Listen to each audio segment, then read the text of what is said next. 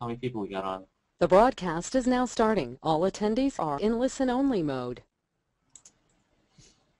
Hi, everybody. It's Gil. It is uh, midday on Wednesday, midweek as well. We're actually the exact midpoint of the week. And, of course, the story of the market is pretty obvious.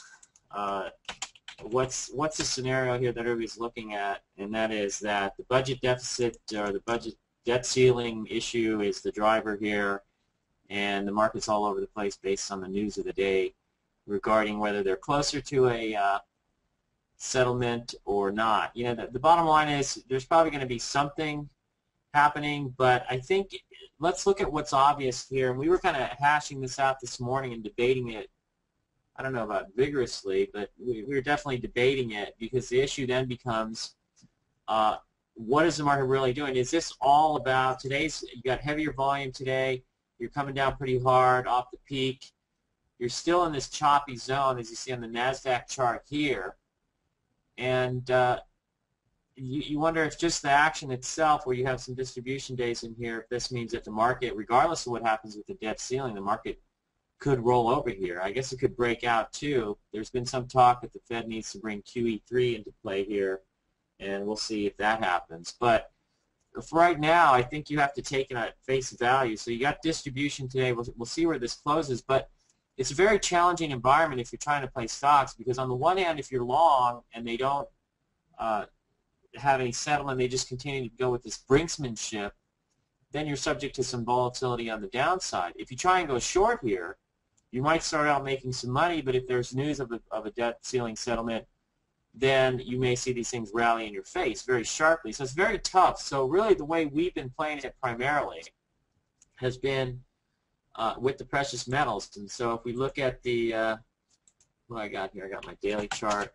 Um, Nasdaq red shift to the SLV. Now, so our, the debate we had this morning is we're pretty heavy in these things and big in the AGQ and, and just very heavy here. So what we decided to do after vigorous debate we compromised. Uh, I, I felt we should just sell all our precious metals this morning and then look to buy back.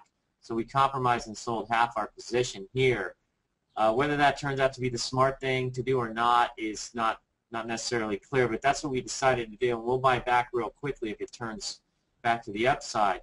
But the thinking here is that if you do have a debt ceiling uh, agreement, then these are going to sell off. But you know, the, the other part of this debate, and Dr. K, I know you're out there. Feel free to chime in uh, is that you know the market may already know this. So maybe today what you're seeing is a sell-off in advance, and when the news actually comes out, the precious metals don't do very much. So uh, it's not as if you're breaking down in any kind of meaningful way. Your volume is up today compared to the last three days, but you know your volume is pretty good here and here, but that didn't seem to derail it just yet. And you're holding above the 10-day.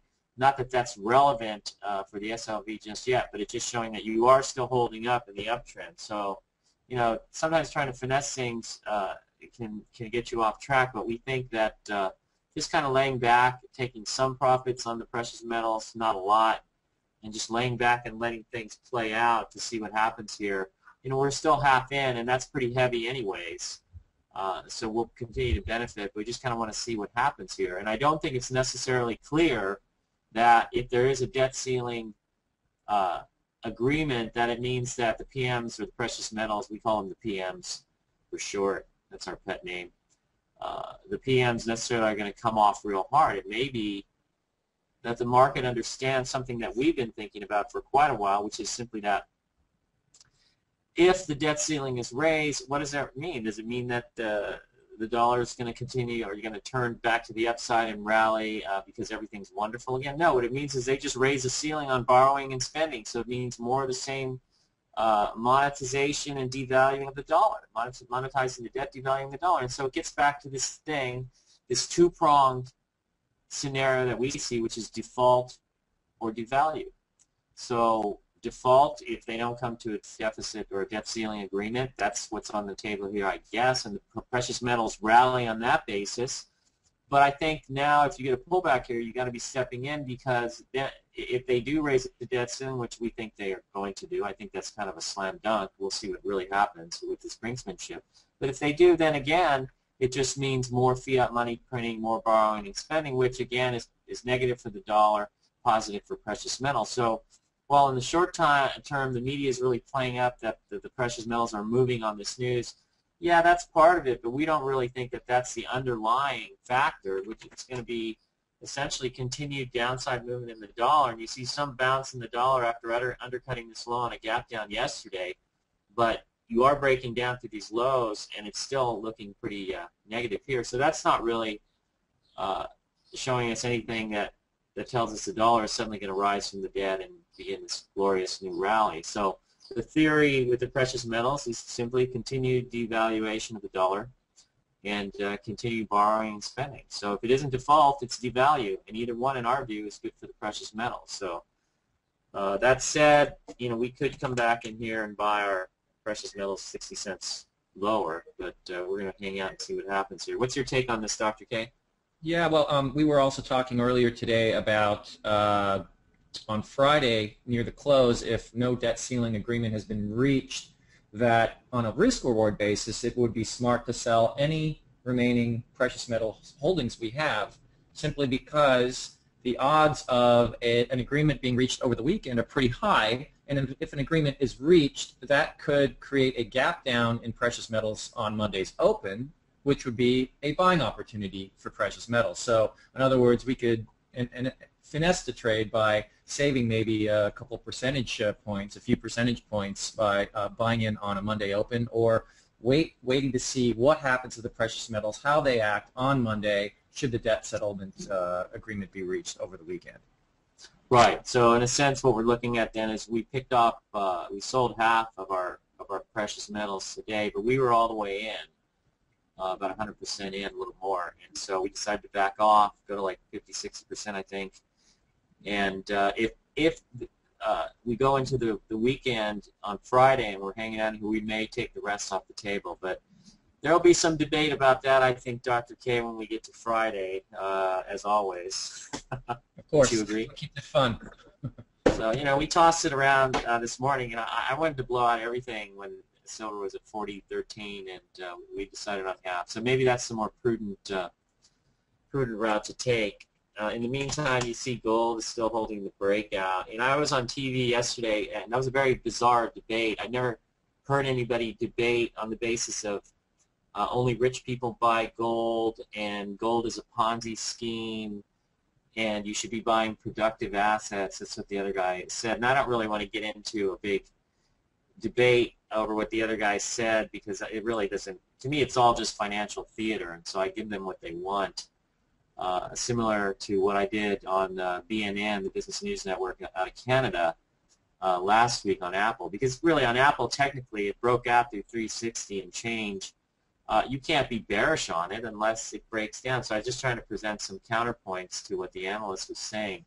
But yesterday, I said, you know, you could have, if they announce a budget or a deficit deal, you could have a 10 to 15 percent pullback in the metals. I kind of think that's extreme. I, I really meant more like 10 to 15 percent in the SLV or the AGQ, which are much more volatile. That's what I was thinking in my head. But with gold, you know, I think you're going to have to hold at least hold the breakout uh, level at around uh, 1559, 1,559, which would be somewhere around here. We're using 151.86. But notice gold is also holding up okay today. It's not really uh, the end of the world yet. Uh, for gold. So, you know, it's been very strong. So it's entitled to some backing and filling in here. But yesterday, uh, I thought that was weird because, number one, uh, if, if gold is a Ponzi scheme, then the capital appreciation, buying any asset for capital appreciation, which is what you do with stocks, unless you buy a stock that pays a dividend, uh, capital appreciation then is a Ponzi scheme. But go look up Ponzi scheme. I didn't understand that comment, that, that remark of his made absolutely no sense because what he's essentially saying is, uh, let's go back to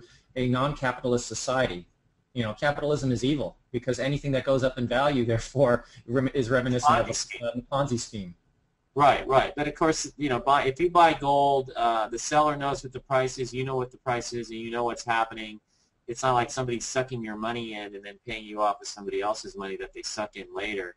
Uh, it, it's it's kind of nonsensical. And then the idea of a productive asset. I mean, common stocks are not a productive asset. If you bought a pregnant cow, that might be a productive asset. If you bought an oil well that's uh, pushing oil up out of the uh, out of the ground. And uh, an interesting story that this one br- brings up, I remember when Bill Griffith, our trader, uh, operations director, who's out there, Bill, uh, I went down to see him. He's visiting his sister down in Huntington Beach, and the guy across the street has a lot next to his house, and these are a bunch of nice houses. But the guy across the street next to his house has an open area that he has an oil well pumping oil out of a out of the ground. So it's like a, one of those oil pumps. It looks like a horse with its head going up and down as it's pumping oil. And I thought that was pretty funny because now that's a producing asset. So you know, if, if you're talking about producing assets, you need to buy an oil well like that. You need to buy a pregnant cow or maybe a dog that's about to have a litter of 12 puppies. But I just thought that was all kind of bizarre. Well, yeah, I didn't understand the, yeah, that comment either. Made no sense where he said um, that stocks are productive assets. They're not. They represent a productive asset, just like SLV and GLD, which are ETFs, they represent productive assets because, gee, you know, gold is used in industry. So is silver. Silver is used all over the place. So these right. represent productive assets. So I didn't right. understand his comment. It absolutely made no sense. When I was, yeah, it, it was, it was I said, am I hearing this right? I actually played it back twice because I didn't think that the, I thought I misunderstood what the commentator was saying, but no, he, that, he really believes that. Yeah, well, I was sitting there wondering how, how do you debate this exactly? Um, so it wasn't really did I was a debate. I was hoping somebody would offer some uh, insight into what the dollar is going to do and the, the, debt ceiling and all that, and the dynamics of gold and silver as alternative currencies. So, you know, to the extent that the dollar is a producing asset, then so are gold and silver, since they're all just alternative currencies. You notice, you know, we talked about this last week the French, or uh, I'm not the French franc, but the Swiss franc uh, has been trending higher. The yen has also been trending higher, and my favorite currency is the Canadian loonie, uh, which has been trading higher. I remember being in Vancouver about 10, 15 years ago and getting a dollar twenty-nine uh, Canadian for every U.S. dollar, and I think we're getting about 95 cents U.S. for every Canadian dollar. So any Canadians out there can can correct me, but uh, you know that's really what the gold and silver story is all about. So. Um, anyways, as far as stocks go, it's very tough to really hit something on a bullseye. You know, you can do this. We talked about Questcor. You had a pocket pivot in here. Oh, it's down in here, I guess. Was there another one in here, Doctor? I don't know. But see, that thing's come no, out. We, we, had, we had that one pocket pivot on that breakout. The problem was that uh, it, it moved up very quickly, and it became a bit extended relative to the whole pattern. So yeah. in other words, you know, you can choose to buy it way up there, um, or or you can wait for a pocket pivot, which never came uh, un until today's uh, buyable gap up. Yeah. But see, this is the funny thing about the market is that there are risks that I will take in my own portfolio because I actually did end up buying this um, some weeks ago and just sitting on it because it's not violating any of my sell rules. So I mean, it's just it's not really doing anything for the whole month, and then you know it has a it has a good news today. And also yesterday, yeah. you'll notice that the the stocks sold off pretty hard toward the close on volume, well intraday volume, and I, I watched that, and uh, I thought, well, th this is this is maybe a clue that the earnings are going to miss, but I decided to just sit on the position simply because I haven't it hasn't violated any of my sell rules, and it's still in the base, and overall the volume for the day is really not that big. So weighing right. all that together, I decided, well, you know what, uh, I'm gonna, I don't want to be breaking my rules. I'm just gonna sit, sit with it. So, you know, but it, it is earnings roulette in this market because we've seen plenty of gap downs um, in this market as well as as these kinds of gap ups. So, um, you know, my position oh, size small enough that I could comfortably sit on it. Yeah, Illumina, nice. Panera Bread today, Brett gap down. Even Cat broke down. Uh, on earnings, and it hasn't really been able to rally. So it is earnings roulette, so it's tough to play stocks. I think the one that I like best, but this almost seems more like a trade than anything else, is this one coming up through here on the pocket pivot. And it got going yesterday. There was some news out about General Electric reporting that there's shortages of rare earth metals. Uh, it's pulling right back in here. We've got a position we're hanging on to it, but uh, in my high octane trading account, I uh, got blown out on a tight stop on trailing stop. I, I thought this thing should have kept going, but it's really a market uh, question right now. If the market's remaining weak, uh, then I think uh, you're not going to see stocks on the long side continue uh, moving strongly. So it almost seems like it becomes a trader. Now earnings come out, I believe, uh, August 13th. So you know, it may not do much from here. You may you may have the sweet part of the move or the sweet spot here out of the way. So um, we have a position where we may hang on to it going on earnings, but it'll have to stay scaled properly. So meanwhile, we've had some questions about FIO, and I think it's interesting because we had set a 29.95 hard stop on our position, and we uh, we blew out of there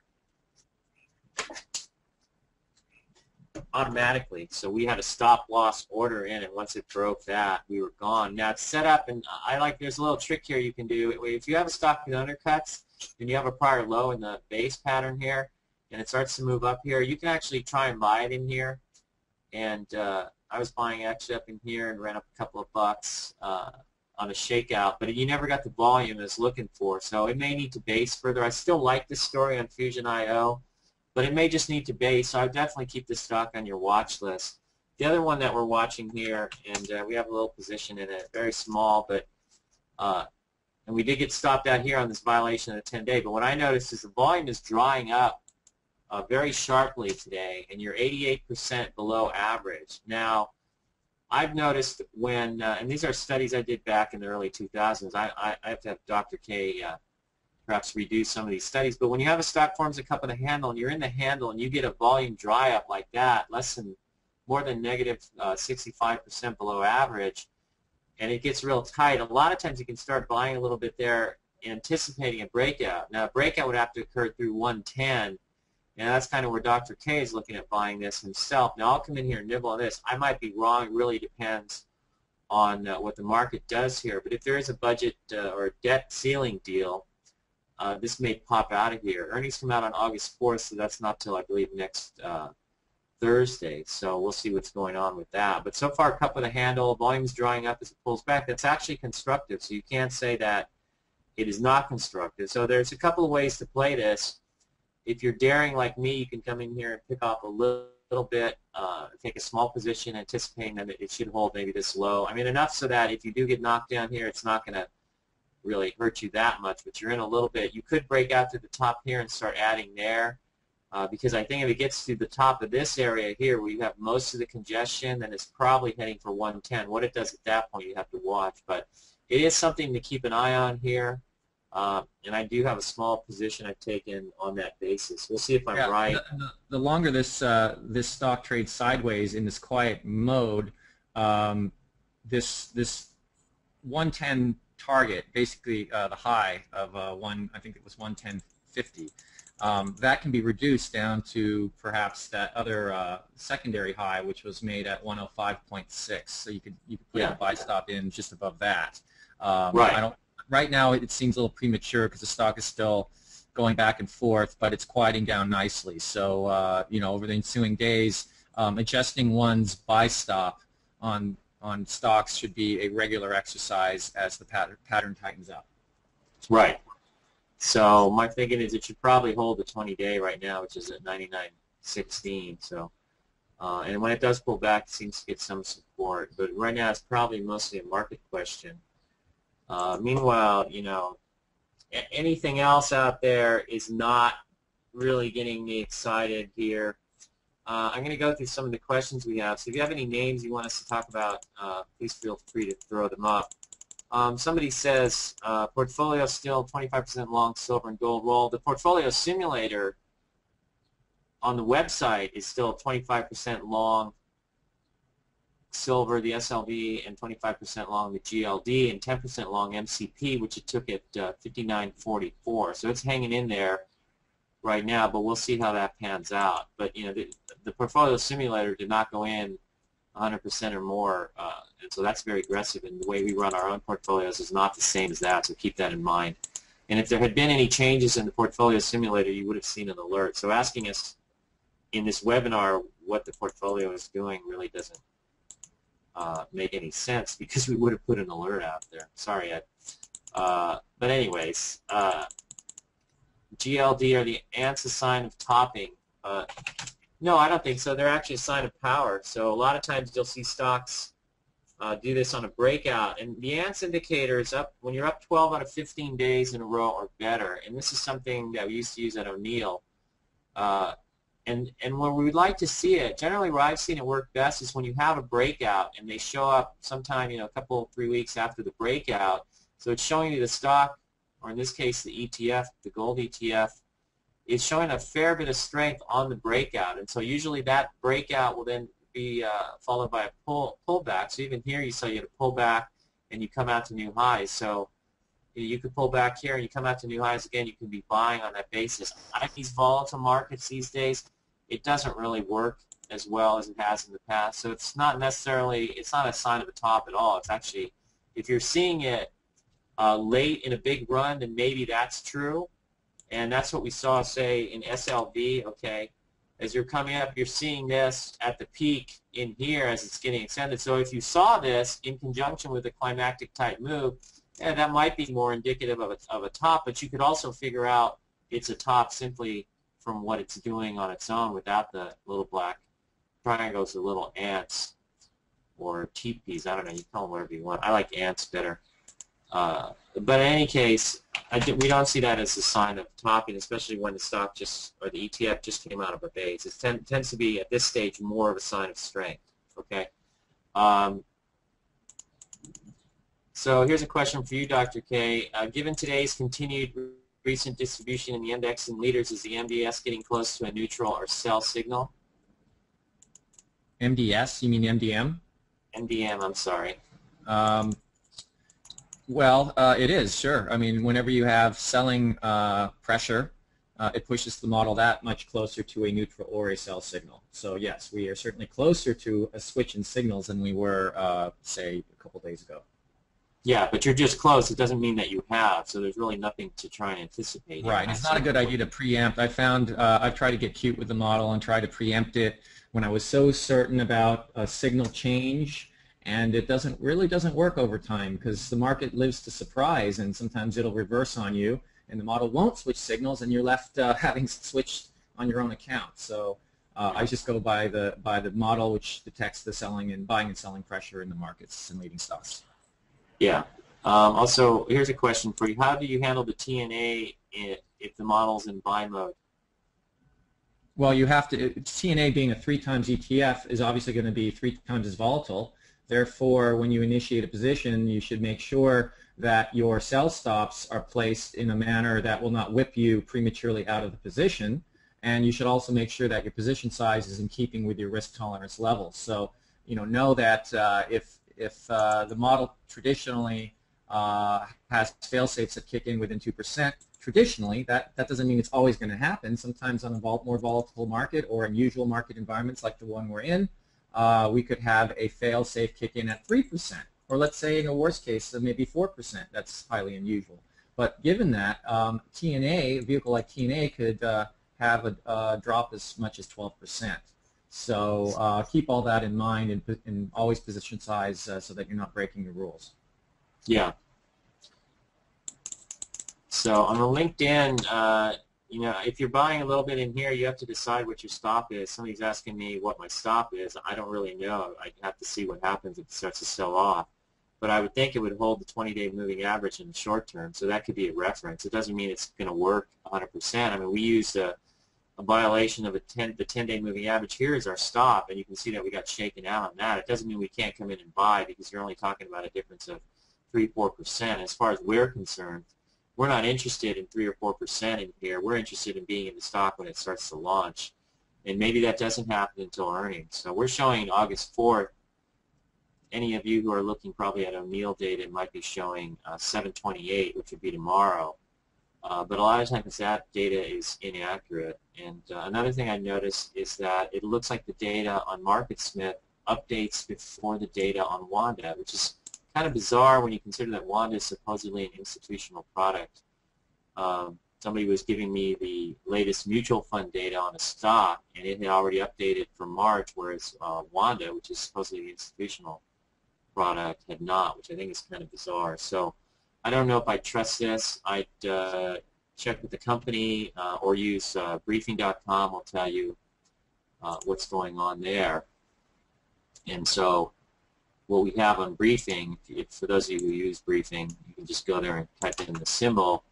I'm going to do that right now, and I'm showing uh, earnings next earnings release August 4th after the market. They're looking for three cents a share. So Um, I'm thinking LinkedIn might do okay on earnings. We'll see. I mean, a lot of people, the expectations are very low for them, so we'll see what happens. Um, somebody asking about Acme Packet, which you shorted here. Uh, I suppose you could try to short it here. I don't really think the pattern is all that in position. You're right at a support level here. You're your retest of this breakdown here, it seems to me that you could try and rally back up to the 50-day. But remember, the big problem with trying to short right now is that if you do get some news about the debt ceiling uh, agreement coming into play or being made, then you might see these stocks suddenly uh, flip to the upside and you get ran. So I'm not really willing to play the short side here just yet. Um, last week we did talk about two stocks that had broken down uh, right here exactly one week ago. We were seeing Aruba, and it never really got back up to the 200 day, and it's continuing to break down. See, now notice how it's coming down in here. I think it's liable to rally. It's possible you could have tried to short this thing here, uh, but I think you're too far down now. But you'll notice these were the things I was looking at, mainly because the patterns are a little bit more uh, formed out. Here, this has already come down. You're undercutting this low. To me, it looks like it wants to rally. Um, let's take a weekly chart on all of these. Let's see, where, where's my weekly chart? Where'd it go? Here we go. So this is at 5. This is your big head. There's a little shoulder here, and you got a bunch of shoulders, and now it's starting to break down. But it seems to me I'd look for another rally in here if I was going to try and short it. Aruba also looks better as a short simply because you have the big head, your left shoulder here, the head right here with the big volume break. Remember, the big volume break is what you're always looking for off the peak because that defines the right side of the head. So you get your two shoulders in here, and now you're breaking down. If your neckline is like this, you're probably heading for the neckline, but remember, you just undercut this low, so you might have one more rally. But like I said, I'm not so sure I'm all that uh, excited about trying to short this market. It's too choppy, and uh, coming off the peak the last couple, three days, uh, it might be a little bit too obvious to be going short. But uh, what I'd be looking for are stocks that are set up in these patterns. Now, what do you notice here? I mean, yeah, you can look at this and say, yeah, here's a left shoulder, here's a head, but do you really see the big break off the peak on heavy volume that would define the right side of the head? There's no real huge volume spike on the downside. In fact, the volume spike occurs right here at the 40-week moving average, which is also the 200-day. So I'm not so sure this is going to break down. Uh, and so I wouldn't, not, I wouldn't be shorting it here. You know, some people ask about and we always get emails asking us about stocks. But remember, we, we don't give personalized investment advice. We operate under an SEC publisher's exclusion, and so we're not here to answer and give advice on individual stocks um, when you email us. We're just not going to do that. It's also not fair to other subscribers as well. But Youku, I'm not going to buy Youku or Yuku. Uh, is this a pocket pivot? Hey, Dr. K, is this a pocket pivot? It's a pocket pivot, but it is a risky pocket pivot because the stock is yeah, so far down and there's so much downside momentum in this name. And uh, I mean, it's all over the map. So you got a lot of volatility going on, and that translates into risk. Therefore, uh, play at your own risk, really. Uh, yeah, and these bottom fishing pocket pivots are, are tricky, you know. Right, Dr. K? Sorry, what's that? He's trying to bottom the bottom fishing pocket pivots too soon off the lows you know, this right. really this hasn't rounded out. out a low yet. Needs to round out, right. and uh, you know, then then I'll have a little more confidence in it, and then and then it's possible that this will issue a pocket point, a po pocket pivot at some point because of the nature right. of what the company does. Uh, I guess yeah, let's go. Let's go back to MCP, uh, Molycorp. You know, this is rounded out a little bit, and you have one, two, three waves to the downside. The third wave doesn't come down as far as the 200-day, so that's showing some strength. This is rounding out more, and so it's much better position than than Yuku, which is uh, just a crazy stock. Yeah, if you look at the uh, prior uh, part of MCP, say on the uh, on March 22nd, that had finished rounding out. So that could be bought on that pocket pivot, which uh, right. I believe right. to report on. And also um, prior to that, there was um, in one in December, um, December 13th, uh, that the stock had enough rounding out. Um, it had actually a pocket pivot on the 6, um, which may have been bought, um, although there's a little bit more risk there because it hasn't really finished rounding out. And then um, on the 13th, you can buy that with more confidence. And it's interesting Right. because So both of those cases, the stock rocketed uh, something like 50, 50 to 80 percent off those pocket pivots. Yeah. So you know, junky stocks. Y- Yuku is a junky stock. You know, maybe it goes higher, but look at that big drop. It's not. It's barely had time to uh, round out. LinkedIn. Will you hold through earnings? I don't know. I have no idea. It goes up 20 points, I my. What are your opinions on Amazon and Netflix? Well, Amazon. There's no real reason to have an opinion. Uh, Amazon is a uh, gap up here, but it's kind of trading mid-range, so uh, it's going to depend on the market. So that's all it is. A buyable gap up, you use the low of the day right here, which would be 227, or I'm sorry, 222, 222.26 is your stop. So you're only a couple of points above that, so if you wanted to try and buy here, I guess you could. Uh, but again, it's a market question. So are we piling into it? No. If you want to pile into it, I guess you could, but it can be traded on the basis of using that 222.26 low as your stop. So, you know, there's no, there's no magic opinions. There's no, we don't have any magic crystal ball that tells us whether Amazon's going to continue going higher or not. You know, we've seen Netflix, which this is one of the craziest stocks, and this will actually allow me to segue into another question that somebody asked earlier. Uh, but you know, Netflix and then it pulls back. It's done this the whole way up. You know, it just it's just this big chop and slop type of situation. Try to get to 300 and it failed. Now you break down here, you come through the 50 day, and, and everybody wants to get short here. I think that's a little premature as well.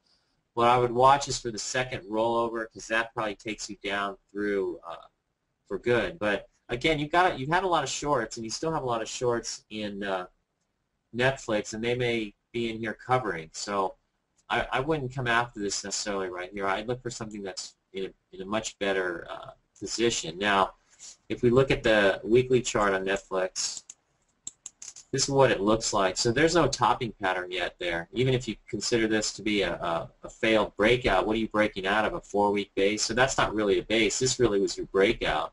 So it hasn't really failed down through these levels yet. So I think it's premature to be trying to short sell it. And if I haven't put anything out on the short sale setup section of the website, then I don't think it's shortable. And you notice we really haven't put anything out, and primarily because I think there's too much news here, and you're more uh, likely to run into a problem trying to short a news-oriented market than trying to go long. So I think there's a lot more risk. I mean, there is enough risk with the earnings roulette season and the choppiness around the news regarding the debt, debt ceiling uh, to make the long side difficult and treacherous. So I think it makes the short side even more difficult and treacherous. Uh, but if you catch something, you know, it's it's somewhat gratifying. An Aruba would have been nice, for example, to catch coming down off the uh, off the 50-day moving average here. So because you broke down, you rallied up. But still, you know, it's, a lot of this is really, in my view, still in play.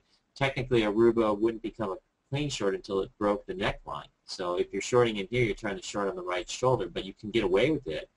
And I was actually shorting the stock up in here, and I didn't, you know, let it play out long enough uh, to really score a big profit. But that just shows you how difficult it is to try and come in here and short the market. So with the precious metals getting bopped around, the miners get bopped around even more. So I, I've always felt, you know, this one's trying to round out, and you have these pocket pivots in here, uh, right in here. I think this is one, but you know, it's to me this is a, a lower quality miner. I like the majestic first majestic silver better, but it's very volatile. They come straight up off the bottom, so maybe it's got a form of handle in here.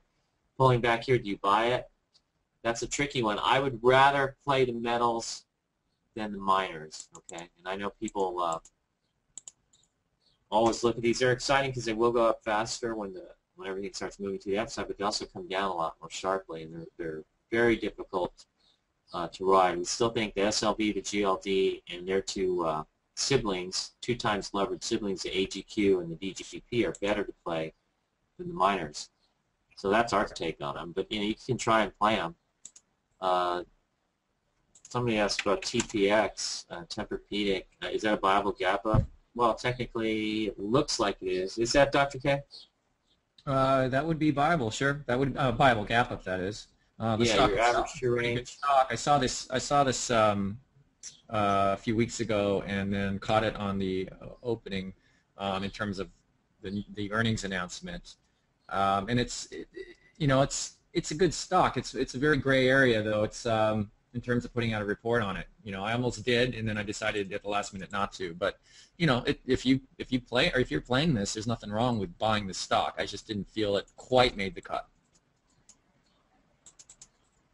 Yeah, I actually have a Tempur-Pedic bed, and uh, I bought it uh, last year, and I thought for sure that would have been the top of the stock, because usually when I buy something, that's it. But uh, they're actually pretty good beds. I used to have uh, like stiff back in the morning, and now it's gone. So ever Do you since I sleep got that, that yeah, much better. So Because I've tried them out at the department store. They, they do seem really good. So I was actually debating on getting one.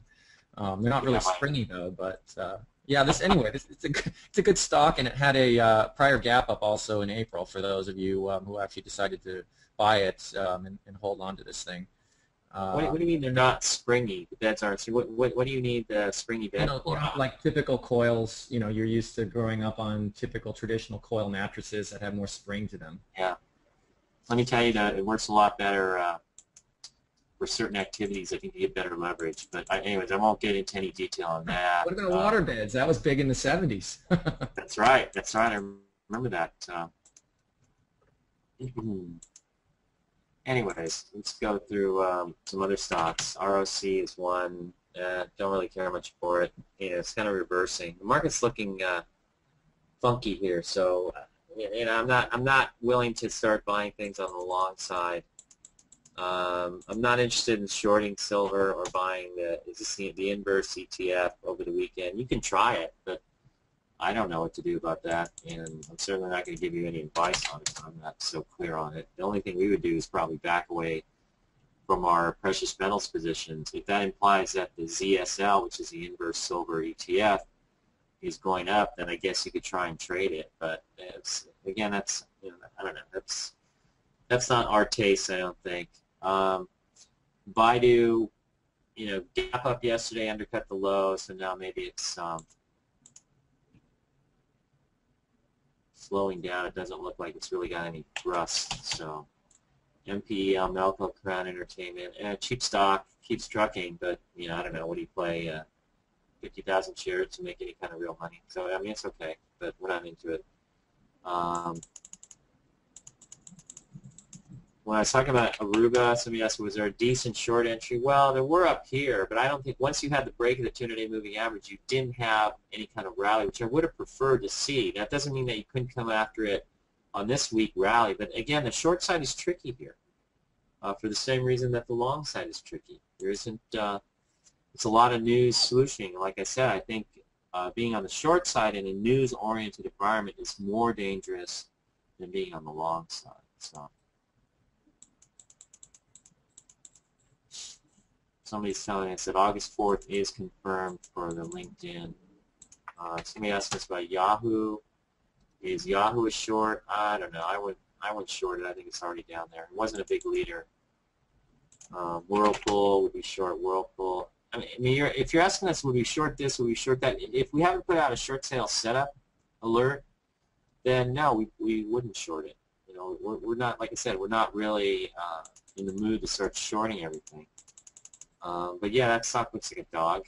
So Netgear is another disappointing stock that looked great for a while and it's broken down. So you might call this a late stage failed base. So once it failed here and it rallies back up, that's possibly your short point. I wouldn't necessarily come at it here because you're undercutting these lows. Watch for a rally back up here. But again, we're only going to put out things if we think uh, there's a high probability of making decent money outside of a news-oriented environment. So VMware was trying to come out, and now it's sort of failing. But I've been suspicious of this the whole way, uh, just as a group, you've seen a lot of the cloud networkers get hit. You see uh, Salesforce, you know, looks strong, and now it's looking weak. So, you know, the, the a lot of the patterns, when you look at a lot of the individual stock patterns, my problem with all of them is it's looking weak as you could possibly look, and so it seems to me that things are breaking down underneath the hood of the market.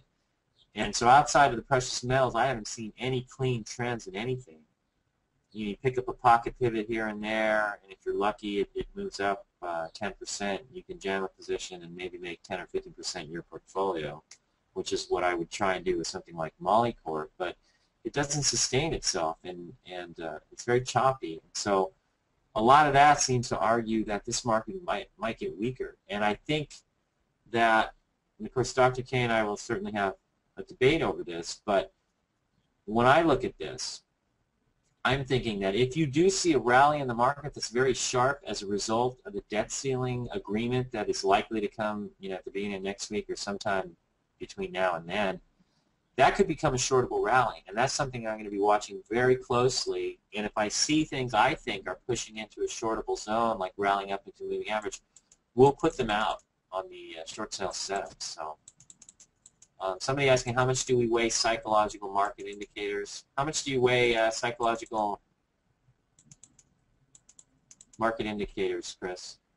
Um, to an extent. I mean, it's certainly part of the mix. Uh, you know, I do keep an eye on them, so they do figure into uh, my judgment. You know, I, I, on IBD, you know, they always have the psychological indicator section. It's always interesting to see. I mean, obviously, they're useful at turning points when when when uh, an indicator will hit an extreme. Then they're, you know, it's interesting to take note of that, and uh, it may uh, weigh in on uh, one's decision. So, you know, they're certainly worth paying attention to. Yeah, I mean, there's two, uh, let's see, I'm not sure if I got these right. There's, I mean, you can look at the put-call ratios and things like that. You can look at uh, some of the other indicators. Let's let's do some of this. Um, I'm going to go. Uh, it's one of my favorite websites, uh, DecisionPoint.com. I think it's a great, great site uh, for a lot of uh, sentiment data and other um, market data. So let's look at the, you know, here's the investors uh, intelligence advisor sentiment poll. Right now what you're seeing is increase in bullishness. So it's starting to pick up. Does that mean anything? Not necessarily.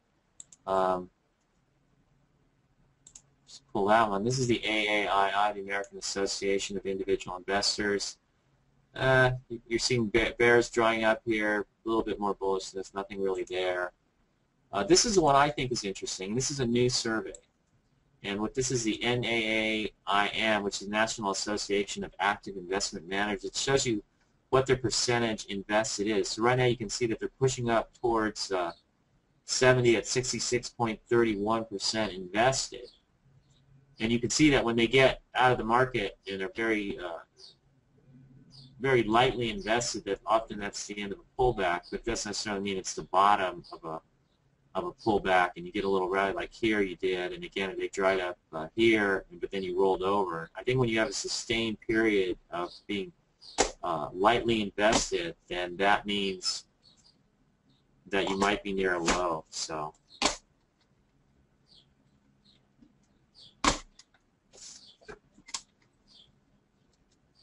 hmm, let's see here. Someone wanted to know uh, about uh, buying puts to protect large long AGQ and DGP positions. And uh, well, we don't do anything with options, but uh, you know, if you know what you're doing with them and you know how to properly hedge uh, large positions in stocks, then by all means, you know, do use them uh, at your disposal. Uh, personally, I prefer just to sell that, sell out the position, or sell out a, a certain measure of position um, using cash as my hedge, and that's what I've always done. That's what I'm very comfortable doing. I'm going to ask everyone to bear with me for a second. It looks like uh, my mouse decided to die, and I think he ran out of batteries, so I'm going to get some batteries. Dr. K, keep talking. Well, how about touchpad? touchpad auxiliary. I hate those touchpads. I, I, can't stand them. It's nice to have. Uh, I always have an auxiliary uh, mouse just in case.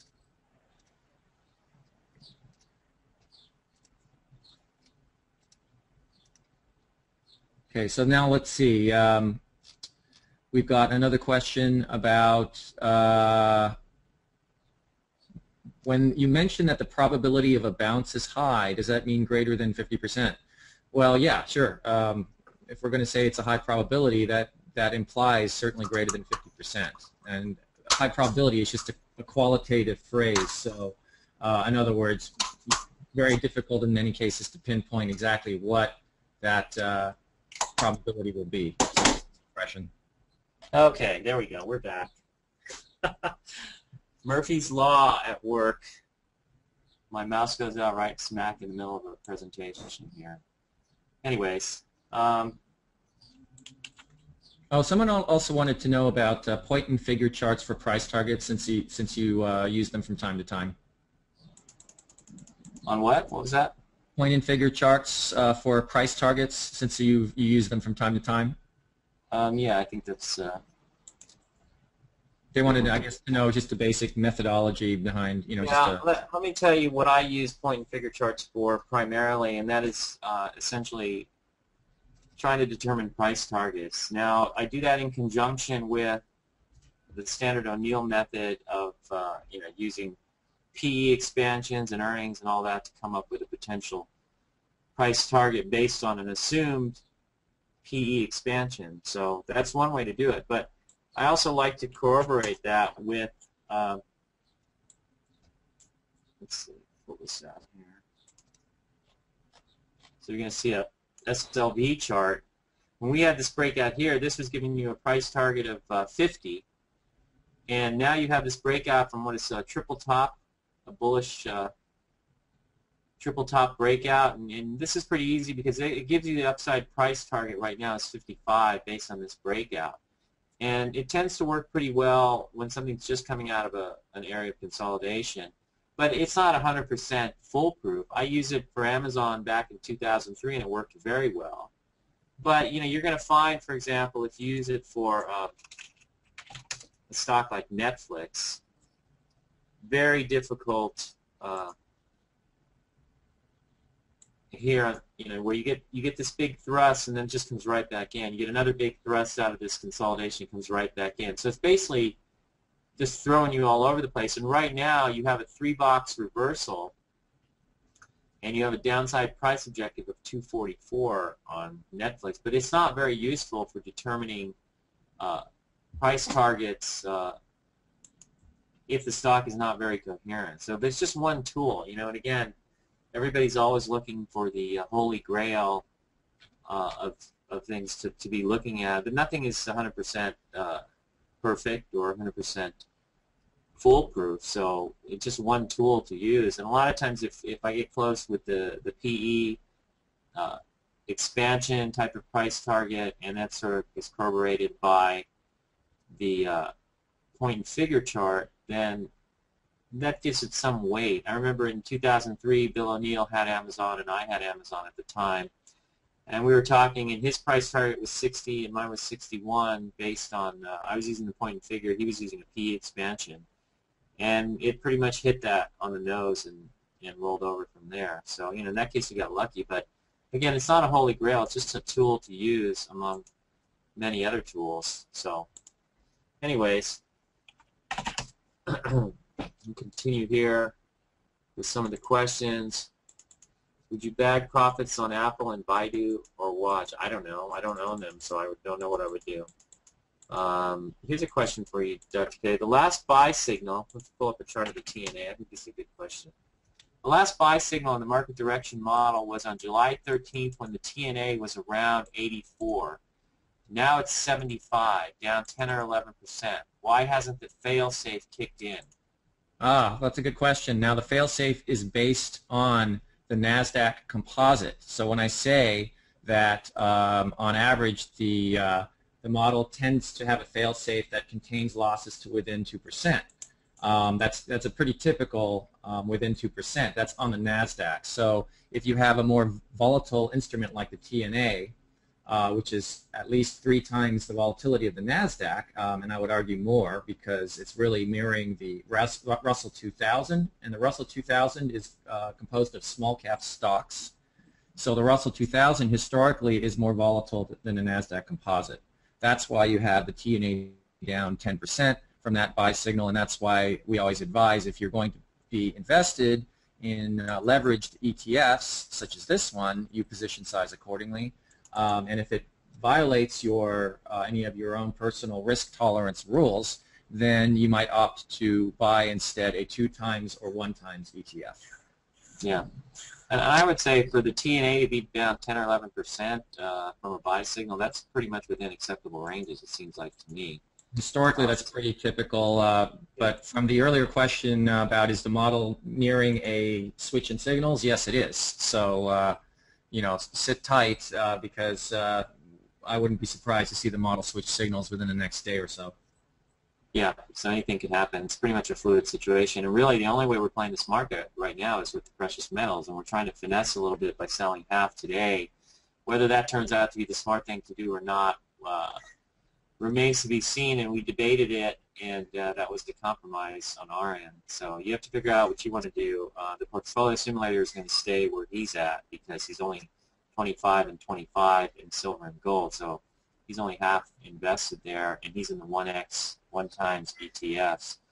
Uh, somebody's asking about uh, the four-hour workshop that we're supposed to do at the Vegas show in November. Well, that show is November 16th through 19th, so I believe it's a uh, Wednesday through Saturday, Saturday being the last day, of course, and that's the week before Thanksgiving for you uh, Americans out there. Uh, we're going to show up, I believe, on Wednesday, and we're doing a one-hour presentation uh, we're not sure exactly what that's going to be about yet on uh, Thursday. And then we're going to do the four-hour workshop, I believe, at 1 p.m. on Friday, the 18th. Now, that's what I understand. That's what they want us to do. Um, and it's a big honor to be asked to do this because they only ask two or three other people, and they ask us.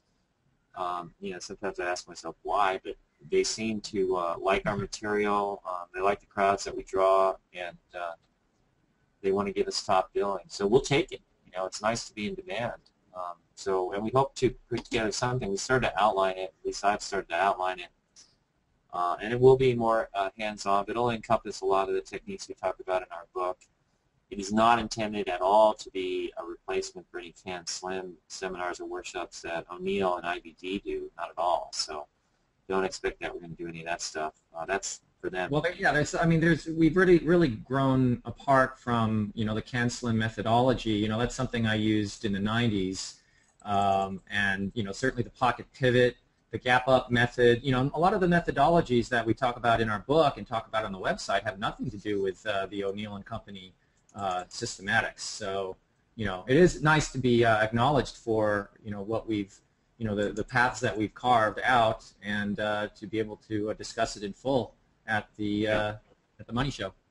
Yeah, so it'll be fun. You know, we have carved out our own path to some extent, but it's still an O'Neil sort of uh, ethos. And then our new book, we have a meeting next Tuesday, I think, with our publisher to start outlining the book. So, you know, right now we have a lot of notes and things, but nothing is really coherent. So it's going to take a fair bit of work, and I, I'm going to say you won't see anything for about a year probably, unless Wiley really pushes us. And the last time we did the book in three three months, and I would like to take longer this time. So somebody asked a good question. Um, would you just go on vacation, or is it too volatile to not watch like a hawk? Well, if you're not in, you don't have to watch anything. So there's always that potential. You know, and, and the way I look at it, you can take a vacation anytime, even bull market. You can always come back at some point. There's nothing wrong with that. But on the other hand, unless you're running high-octane positions and trying to run aggressive, concentrated positions uh, where a small movement is going to hit you with a big loss, and I think you can just take the Nicholas Darvas method, which is as long as the stock acts within uh, well within a certain range and stays within its base and doesn't violate certain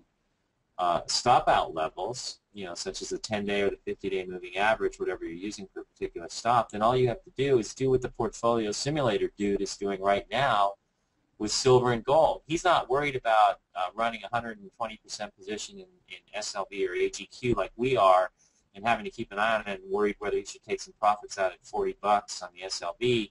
He's got a stop on his positions at 36.71 for the SLV and 151.86 on the GLD.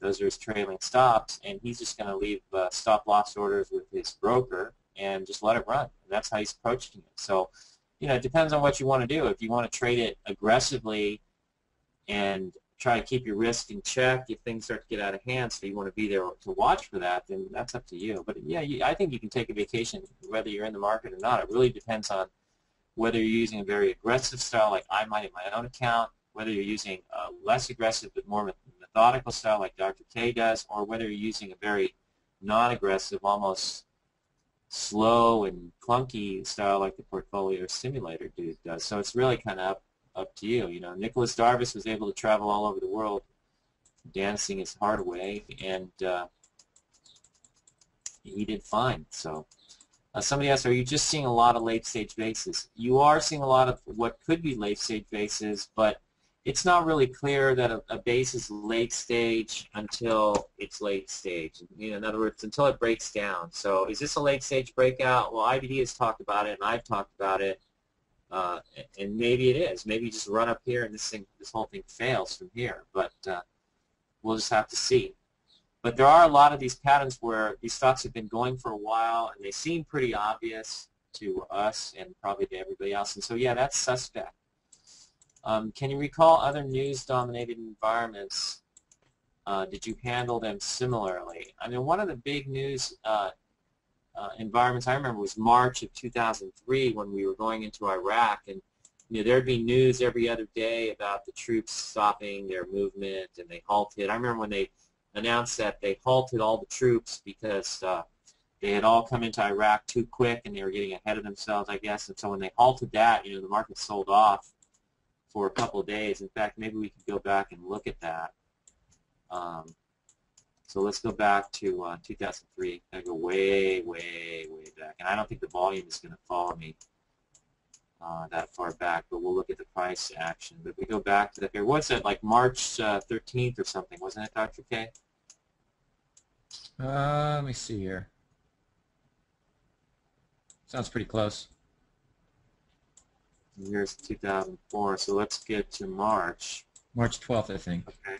Yeah, and that, and I remember that was a very news. You know, we had I think you had a follow through day here, and then we had these chop this choppiness in here as uh, the news was coming out, and then once things started to clarify, we started to move up and out. But I think you have the follow through day here on March 17th, and yet notice how you had the follow through day and you move up and you come back in. So this is a very Actually, choppy day, but March, basically March 12th was the uh, the first follow through day on the model. That was when the model March went 12th.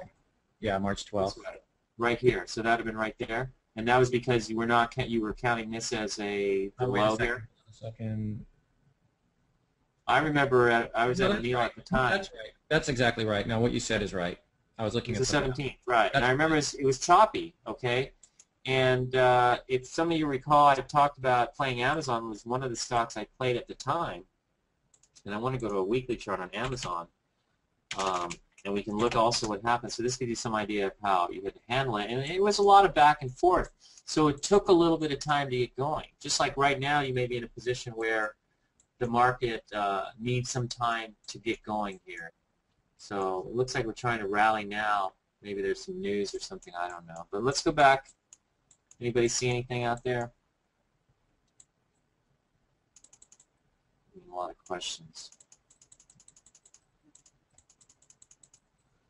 Um, for those of you asking about the workshop, yeah, ju- I would just go to the Money Show uh, website. We'll put that out when we have it. But anyways, okay, so here is the week. Let me pull this up here. So let's go to March. This is the week that you had the follow through. Now notice you had the follow through.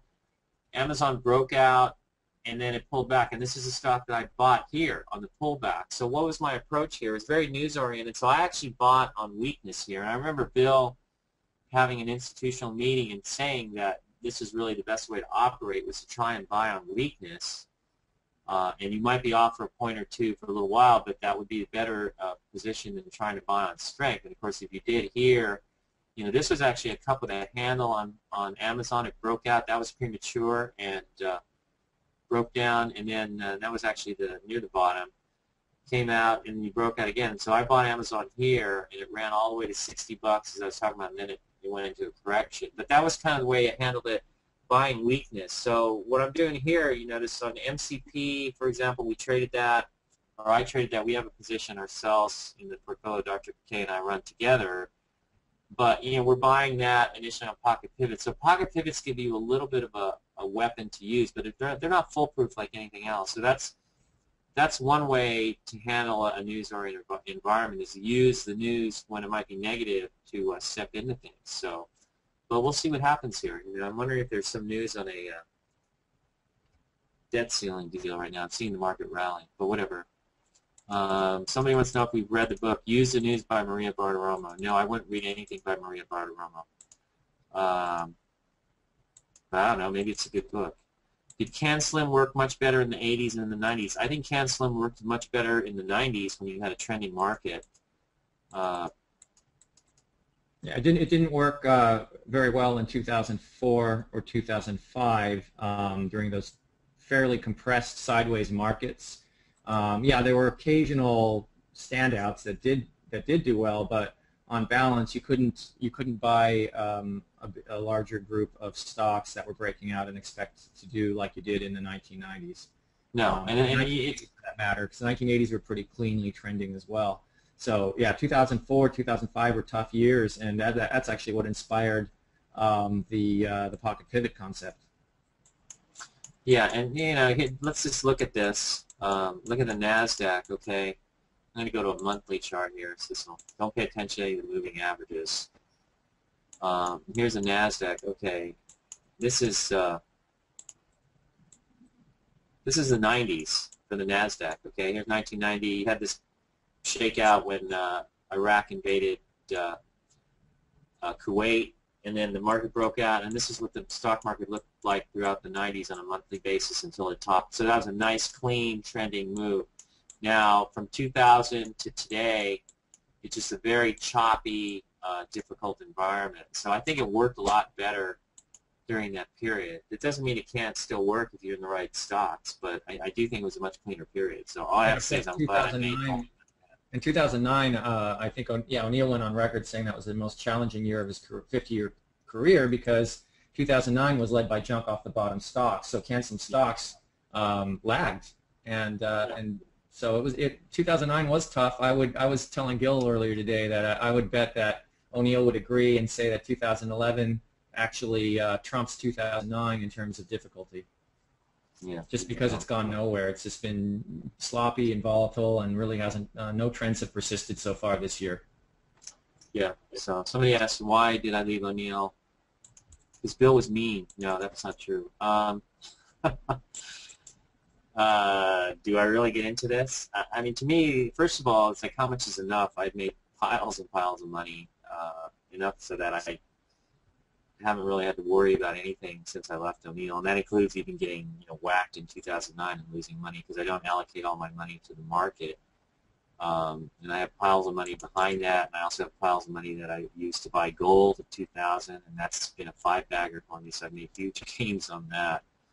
Um, but for me, I don't know, eight years there, I didn't really think that uh, the direction of the company was uh, going to be successful. They made a lot of changes there brought in a new sales manager on the institutional side, and to me it seemed like a lot of poor decisions. And my feeling was that in order to be, uh, just to be honest, uh, I couldn't sit there and support what was going on internally in terms of the business. Uh, and at the same time, I didn't want to be a gadfly because a lot of people would come into my office when I was chief market strategist and had been moved out of institutional services. A lot of people were coming into my office constantly and complaining about everything. To me, that's just being negative. And uh, so it's kind of like how much is enough. Uh, I had made plenty of money, and I didn't think I could support where the firm is going in terms of the business. I mean, I fully support uh, O'Neil's work in the market. It's brilliant stuff. Uh, but I think to some extent the O'Neil organization is a study, a case study in how you can have brilliant market work and really squander a brilliant brand uh, by not really understanding or running the business correctly. So, you know, I just had to be honest. And if I couldn't support it, then I felt the loyal thing to do uh, to Bill and the organization was to just step away, and that's what I did. So I went off and messed around, did my own stuff. Now, in hindsight, would I have started a fund like I did, trying to run money my style, where you have wild swings, 20% or more, you know, in a, in a week or a month? Uh, probably not.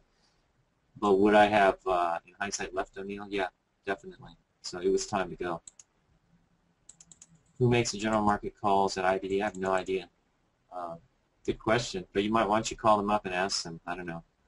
Um, I think that for the most part, Bill leaves it up to the, the, the guys in uh, in there, and they're they're reasonably they get it they get it right most of the time. They do a good job. So I know Chris Gessel is an editor there. He's a smart guy. He knows what he's doing.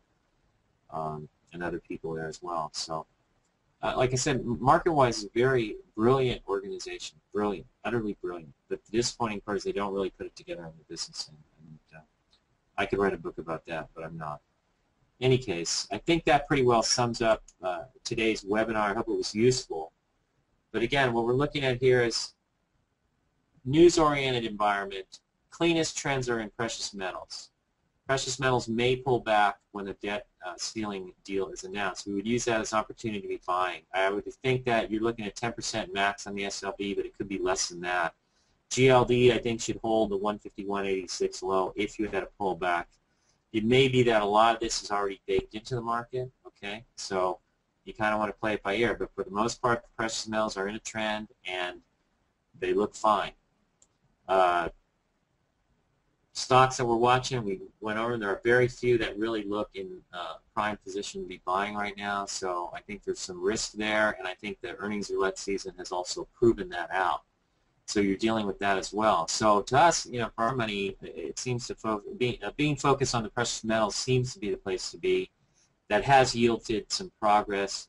We're having a very good uh, 2011, you know, knock wood, yeah, and I would think that, you know, uh, I know I read something that Bill O'Neil said that 2009 was probably the most difficult environment he's ever seen in his career. I would think that, uh, you know, we were talking about this this morning, he might think that 2011 could replace 2009 because it's been even more difficult. And so we're happy that we kind of got a, you know, beat on it and have it wired down. And so on that basis, we've been able to do pretty well so far this year. But like I said, knock wood because things can always change.